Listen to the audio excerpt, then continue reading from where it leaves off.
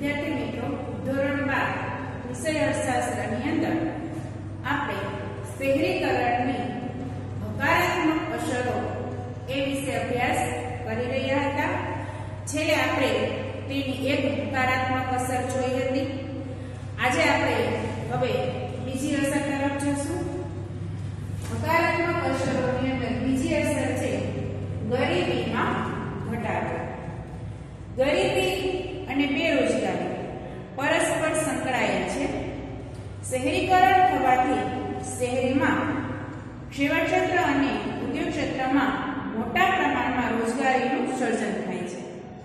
હવે ગરીબી અને બેકારી એ ખાસ મિત્ર છે. બેકાર છે એટલા માટે એ વ્યક્તિ કેવી છે?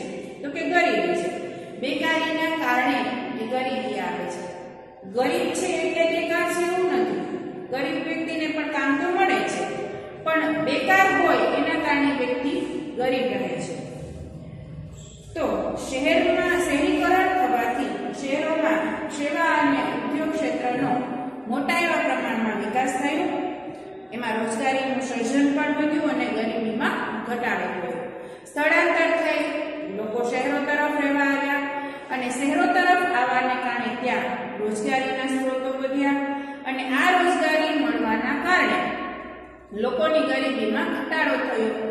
બેરોજગારી દૂર થઈ, એટલે કે રોજગારી મળી એના કારણે ગરીબી ઘટી શકી ઉપરાંત ગ્રામ્ય બેકાર અને ગરીબ વસ્તી પણ શહેરમાં આવતા તેમને પણ તેમની યોગ્યતા મુજબ રોજગારી મળતા ગરીબીમાં ઘટાડો થાય છે.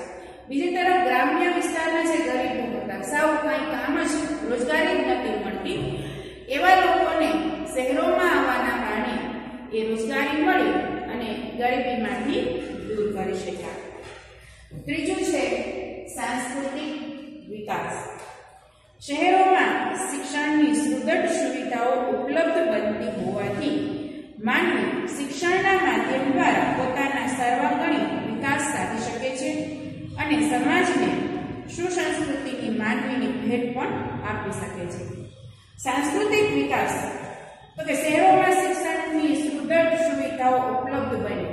હવે મોટી મોટી કોલેજો, મહાવિદ્યાલયો, તો કે ગ્રામ્ય વિસ્તારની અંદર નથી એ શહેરી વિસ્તારમાં જોવા મળે છે તો આ વિશ્વવિદ્યાલયો, વિદ્યાલયો છે મહાવિદ્યાલયો એ શહેરોમાં આવે.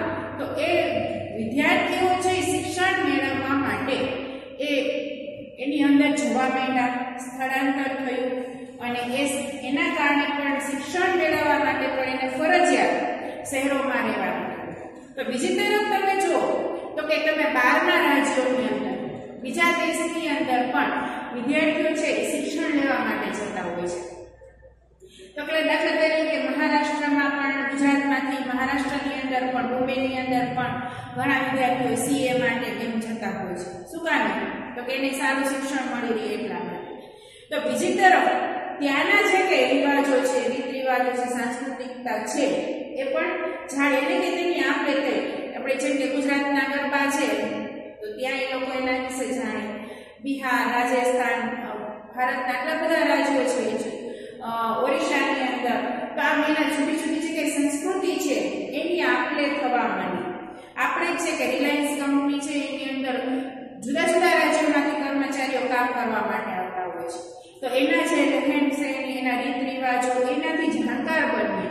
તો કે એક જ જગ્યાએ વ્યક્તિને આવા જુદા જુદા રાજ્યોના ભેગા થવાના કારણે એ દરરોજને એક જગ્યાએ કામ કરવા માટે મળતા હોવાથી તેના વિચારો એની સંસ્કૃતિ એની આપણે થવા માંડી પણ ક્યારે શક્ય બન્યું જો શહેરીકરણ થયું તો એ પોતાના ગામ અથવા પોતાનું રાજ્ય છોડીને બીજી જગ્યાએ ગયા અને સ્થળાંતર કર્યું. તો એક શું થયું એક સાંસ્કૃતિક વિકાસ થયો એમ કહી શકાય. ઉપરાંત વૈવિધ્યસભર વાચનાલયો બુક સ્ટોલ તેમજ અન્ય સાંસ્કૃતિક વિકાસના વિવિધ કાર્યક્રમો પણ માનવીના સાંસ્કૃતિક વિકાસમાં અગત્યનો ભાગ ભજવે છે. હવે આપણે શહેરોની અંદર લાઇબ્રેરી હોય છે અને એક શહેરની અંદર નાનું શહેર હોય તો એક કે બે મોટા શહેરોની અંદર વધુ પ્રમાણમાં સરકાર દ્વારા પણ આવા લાઇબ્રેરી ચલાવવામાં આવતી હોય છે તો કે આ શું થયું તો કે લાઇબ્રેરીની અંદર સગવડ પ્રાપ્ત થવા વાંચન કરે પુસ્તકોનું વાંચન કરવાથી તેમના નોલેજમાં વધારો થાય સંસ્કૃતિક અમુક જે જ્ઞાન જેને નહોતું એ વાંચવાના કારણે તેને જ્ઞાન પ્રાપ્ત થયું અને ઘણા બધા એવા પણ હોય છે કે જેને વાંચનનો ખૂબ જ રસ હોય. તો પુસ્તકો લાઇબ્રેરીની અંદર તો વિશાળ ભંડાર હોય છે પુસ્તકોનો. તો એની અંદર એ પુસ્તક વાંચે અને નવી નવી જે સંસ્કૃતિઓ છે કે વિચારો છે એને જાણી શકે. પછી આ બધા પુસ્તકાલયોનો બધો લાભ ક્યાં મળવાનો? તો કે શહેરોની અંદર. બીજી તરફ છે એ શહેરોની અંદર ઘણા ઘણા કાર્યક્રમો પણ રાખવામાં આવતા હોય છે કે જેની અંદર સાંસ્કૃતિક આપણે થાય. અથવા તો સેમિનાર હોય છે, એની અંદર પણ શીખવાડવામાં પણ આવતું હોય. અત્યારે જ ઉદાહરણ લઈએ, તો કે યોગા. અત્યારે યોગાના ક્રેઝ ખૂબ જ વધ્યા છે. તો કે લોકોને યોગા માટે જાગૃત કરવામાં આવે, એને શીખવાડવામાં આવે, એના લાભ એ શીખવાડવા જોવા કહેવામાં આવે. તો આના કારણે એ વ્યક્તિનો વિકાસ પણ થાય છે અને બીજી તરફ આપણી જે યોગાની સંસ્કૃતિ હતી એ પણ જળવાઈ રહી છે પણ શાના કારણે તો કે એ શહેરીકરણ થાય તો. તો આપણે શહેરીકરણની હકારાત્મક અસરોની અંદર ત્યાં સુધી આપણે ત્રણ અસરો જોઈ.